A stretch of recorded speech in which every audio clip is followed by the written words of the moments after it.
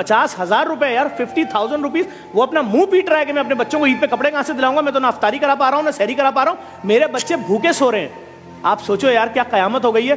साढ़े आठ सौ रुपए का तीस किलो आटा आता था एक महीने पहले भाई। आज पाँच किलो नहीं आ रहा आठ सौ साठ रुपए का पाँच किलो आटा है। अगर आप आपको पता है सिक्योरिटी गार्ड सड़कों में क्यों सो रहे हैं आजकल? ये एक नया ट्रेंड शुरू हुआ है नोट किया आपने? कि सिक्योरिटी गार्ड सड़कों पे सो रहे हैं। और क्यों? और नहीं क्या? जब बारह हज़ार रुपए तनख्वाह होगी बस के अंदर आपका लग रहा है अस्सी रुपए एक स्टॉप का अस्सी रुपए दूसरी बस का 160 जाने का 160 आने का। जब 9000 तुम्हारा बस का पैसा लगेगा 3000 महीने का बचेगा तुम खुद दिन में कुछ नहीं खाओगे। तो बीवी क्या खाएगी बच्चे क्या खाएँगे घर का किराया क्या तो, तो अब गार्ड कह रहा है मैं सड़क पे सोऊँगा सुबह उठूँगा नाले में अपनी पैंट धोऊँगा खड़ा हो जाऊँगा दरवाजे खोलता रहूँगा दिन भर सेटों के लिए। ये है गार्ड और जो एमबीए लड़के हैं ना कराची के खुदा की कसम खा के बोल रहा हूँ रक्षे और चिंचियाँ चला रहे हैं। क्यों? प्राइवेट नौकरी में तीस हज़ार से ऊपर कौन दे रहा है यार? यहाँ फिर भी कुछ ना कुछ पैंतीस हज़ार से ऊपर कौन दे रहा है? वो पैंतीस हज़ार में तलाखें हो रही है लोगों के घरों में।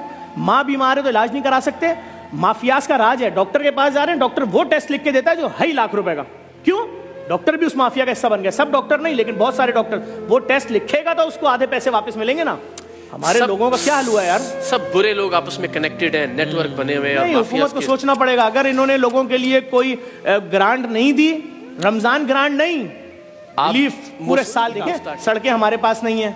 पानी हमारे हम गटर का पानी पीते हैं भाई गटर का। और अगर ज़िंदा रहना है तो जो पानी खरीदोगे उसका नौ हज़ार रुपए बिल बनता है। और वो भी हमें पता है वो कोई फ़िल्टर विल्टर नहीं होता वो खाली हमें दिल को मुतमिन करने के लिए दो नंबर पानी भर के दे रहा है। तो भाई लोगों को कोई सोच ही नहीं रहा है यार। आप सोचो चालीस हज़ार रुपए के अंदर बीस हज़ार रुपए घर का बिल चला गया रेंट पंद्रह हज़ार के इलेक्ट्रिक ले गई तुमसे। पाँच हज़ार में ज़िंदा कैसे रहेंगे? इस पे कोई बात नहीं कर रहा है। वो कह रहे हैं उनको गिरफ़्तार कर लिया उनको छोड़ दिया वो कल वज़ीर आदम बन जाएँगे वो मिनिस्टर बन जाएँगे। तुम्हारी बीवी अपनी सालगिरह पे गिफ्ट मांगती है दे सकते हो? बोलेगा पाँच साल से नहीं दिया। अपनी माँ को दवाई दे सकते हो? करेगा हाँ मेरी माँ की शुगर की दवाई तेरह सौ रुपए की आती थी दो साल पहले आज वो दवाई सात हज़ार की मैंने कहा अम्मी मर जाओ। खुदा से जाके शिकायत करना कि मैंने वो बच्चा जिसको पेट में पाला था ना नौ महीने पेट में रखा चलना सिखाया पढ़ना सिखाया और जब वो माँ मर रही है यार चालीस हज़ार की खबर पंद्रह हज़ार की मैयत बस अभी कल पोस्ट चल रही थी प्राइवेट अस्पताल की कि एक शख्स की माँ की मैयत नहीं दे रहे। कह रहे सात लाख दोगे तो मैयत मिलेगी। लोगों के पास दफनाने के पैसे नहीं है बात ही खत्म हो गई। खुदा की कसम खा के कह रहा हूँ मेरे ऑफ़िस में लड़का आया लड़का यंग लड़का आया। उसने आके ऑफ़िस में पता क्या बोला? उसने बोला कि सिर्फ़ पच्चीस हज़ार रुपए देने मैं झूठ नहीं बोला मेरे बेटे की मैयत तीन दिन से रखी दफनाने के पैसे नहीं मैं किसी से बोल नहीं सकता। मैंने कहा झूठ बोल रहा है। ऐसा हो नहीं सकता। इतनी बेहसी जमाने में। लड़के को भेजा लड़का गया कसम खुदा की उसकी बच्चे की मैयत तीन दिन से रखी थी। सिर्फ़ पच्चीस हज़ार रुपए मांग रहा था मैंने कहा मैयत बस के पैसे तो बोला मैं गरीब हूँ मेरे रिश्तेदार नहीं आए एंबुलेंस में मैयत भेज दो। समझे आप क्या समझ रहे हैं? सिर्फ़ फकीर माफिया थी। ये ठेले वाले जो है ना ठेले वाले ये एक आदमी का ठेला होता है।